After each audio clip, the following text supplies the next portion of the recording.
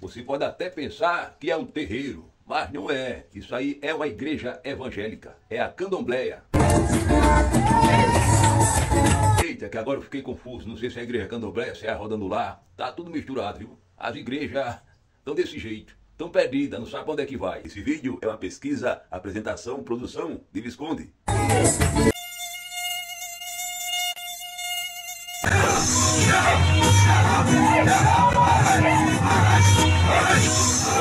Você tá vendo aí a candombleia a todo vapor, na unção. Que unção será essa?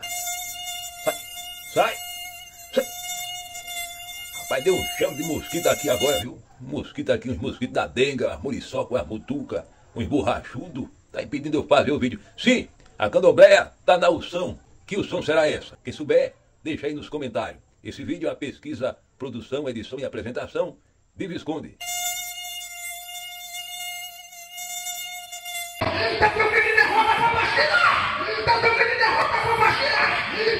Tem jeito não. Você vai ver mais um pobre espritado e com a pombagira. Menino, a pombagira nas igrejas é campeão de audiência. No Ibope, ela dá em primeiro lugar, porque nas igrejas só tem, só tá dando pombagira. Aí se a mulher trai o marido, a culpa é de quem? É da pombagira. Se a mulher tá usando aquela caçola fio dental, a culpa é de quem? É da pombagira. Se tá fazendo uns programinha, de quem é a culpa?